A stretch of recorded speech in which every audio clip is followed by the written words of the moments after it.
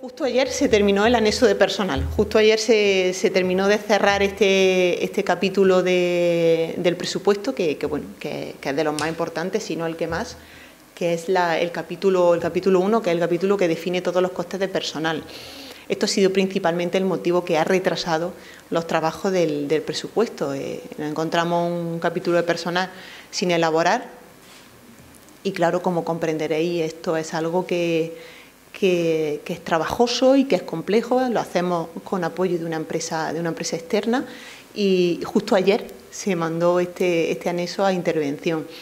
Esta semana eh, van a empezar ya los trabajos, pues como, digo yo, un poco de confrontar los distintos bloques del presupuesto. Empezará el anexo de personal, el, anexo de inversiones, el anexo de gastos, toda la, la, parte de gastos corrientes y ahora un poco pues lo que me hace la gente de intervención es que me lo confronta todo y me dice, pues mira Noelia, hay que cortar de aquí, hay que subir de aquí, o ya, son los trabajos últimos del presupuesto.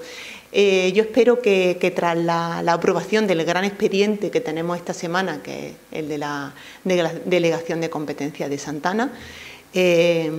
es una prioridad para el Ayuntamiento en, en los siguientes plenos aprobar el presupuesto ya.